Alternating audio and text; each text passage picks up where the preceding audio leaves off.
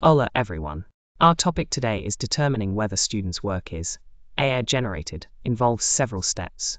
As a comprehensive approach, 1. Set clear policies and guidelines define academic integrity policies clearly outline what constitutes acceptable and unacceptable use of AI tools in your academic institution's policies.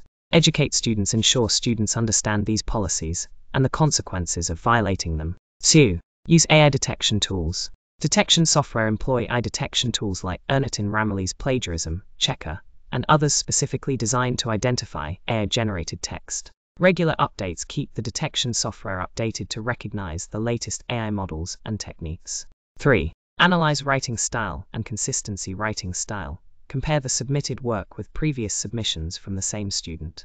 Look for changes in writing style, vocabulary, and complexity. Inconsistencies check for inconsistencies within the document, such as shifts in tone or style that might indicate multiple authorship or AI involvement. 4. Conduct oral examinations. Interviews conduct oral exams or follow up interviews, where students explain and discuss their work. This can reveal their understanding and the authenticity of their submissions. Spontaneous questions ask students spontaneous questions related to their work to gauge their familiarity and understanding. 5. Use plagiarism checkers, traditional plagiarism detection. Use tools like Turnitin Copyscape or PlagScan to check for direct plagiarism. AI specific features. Some of these tools now have features specifically designed to detect AI generated text. 6.